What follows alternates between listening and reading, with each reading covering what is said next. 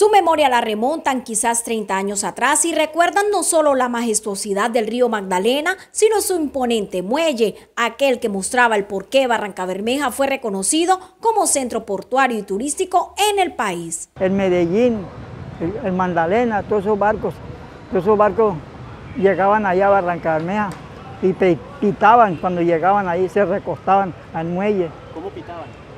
Uh, uh. Cuando, cuando, cuando hacía así, pitaba era porque estaba llegando, porque él pitaba de allá, de allá. Y entonces llegaba el barco, llegaba uh, y, se recostaban, daban la vuelta y recostaban ahí.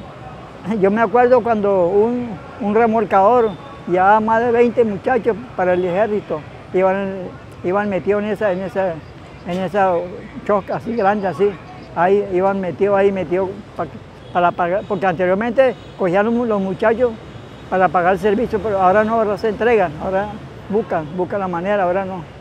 A veces uno no puede entrar al muelle porque lo, que venden pescado tiene trozo invadido. Para los barranqueños son pocas las esperanzas que quedan de recuperar esta estructura que al parecer ya cumplió su vida útil, la cual permitió reconocer la maravilla hecha agua y el vistaje de animales poco convencionales para lo que he visto del muelle, cómo se va deteriorando poco a poco. Es como ir perdiendo una riqueza, una historia de lo que ha sido Barranca Bermeja a través de los años. Y pienso que es algo muy triste que de pronto desaparezca y no tenga una restauración de lo que ha sido y será Barranca Bermeja desde el tiempo anterior hasta el tiempo actual.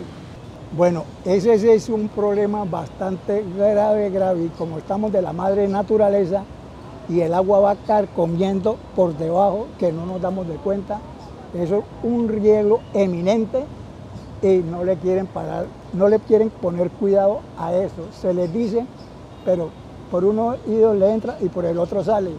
Ese muelle está pidiendo este, como les dijera, está pidiendo, la palabra es mano de obra, pero de inmediato. El deterioro del table estacado, los efectos de socavación del río Magdalena fueron algunas de las razones que deterioraron este sector emblemático de la ciudad, el muelle.